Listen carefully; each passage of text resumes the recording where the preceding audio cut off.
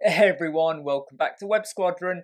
Um, this is a question that crops up in forums and I have seen in many places and even I, you know, succumb to this problem, which is how can I show PDFs on my website? What I mean is, I don't just mean as a link, which is dead easy, but what I mean is an embedded form. And what I and many others tend to do is you go onto WordPress, you find like a plugin like PDF Embedder, and there are lots of other alternatives, and you install a plugin just to show off PDFs. And it's like, is there a way we could do that without installing a plugin? And of course there is. So what I'm going to do is I'm going to pick a PDF that I've got within my media library. Let's just go to media library. And what we're going to do is we're going to embed that onto a page. Okay. So we're going to take this um, uh, PDF here. What I'm going to do is just go over and I'm going to copy the URL. Okay, you, there's many ways you can do this. You can add it to your page as a link and then get the URL, or you can just copy it. Either way is going to work for you. Right, we'll then go over to pages and we'll just go to widget. I don't really think much about my page names. These are all examples, right? So over here in this text editor that I've added, I'm just going to paste in my PDF for now, just so I don't have to lose it, okay? That's the PDF address. Okay, cool. What I'm then going to do in the section below is I'm going to add in a HTML widget. I'm going to just drop that there. And I'm just going to make this section, uh, I'm going to make it about 600 in width, okay? It's up to you, play around with how big you want to have the PDF on the screen. Right, what you then do is add a little bit of code. Okay, we're not talking about CSS, we're not talking about any JavaScript or anything fancy, it's just a little bit of code, and this will be in the comment section basically it's an em, em, an embed an embed code okay?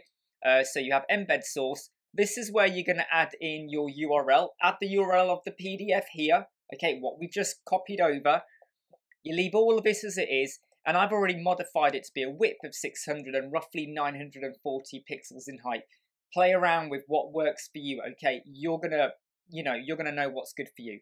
Right so let's just copy this now, as soon as I copy this over into the HTML, it's going to just give me this message to say, this page cannot be found. Well, yeah, of course, because it's not got a proper URL in there. So let's go over here. Let's pick this up. You want the full address, okay? Go back over to your HTML one. And where it says add URL of PDF here, get rid of all of that and overwrite it keep the speech marks, okay? Very important. Keep the speech marks at the beginning and the speech marks at the end, right? And lo and behold, it's there. It's like literally there. Look, let me get myself out of the way. Ah, just disappear out of the way. Look, we have our PDF. Um, and obviously that height is a bit too much, so what I'll do is I'll go into here, um, and I'll probably change the height to be about 900. And you are going to have to play around with it to, look, it's still too much. Let's go for 880. All right, you're going to play around with it to get it to be whatever height you want it to be, okay? But if I now view this on a page like so, let me get myself out the way again. Uh, let's just scroll down. We have a PDF embedded on the page. And you can, you know, you have the functionality there to read aloud, draw, highlight, erase, whatever you want to do. It's only going to do it on the screen, bear in mind, okay? And what happens when we view this in a mobile? And again, this is where you're going to have to take into account your height and width, right? So let's now go to responsive mode.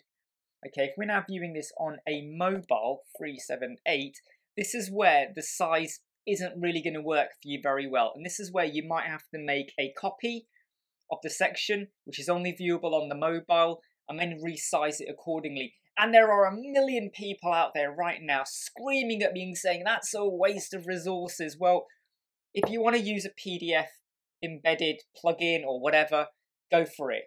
I, there's nothing wrong with it because I I've used it many many times.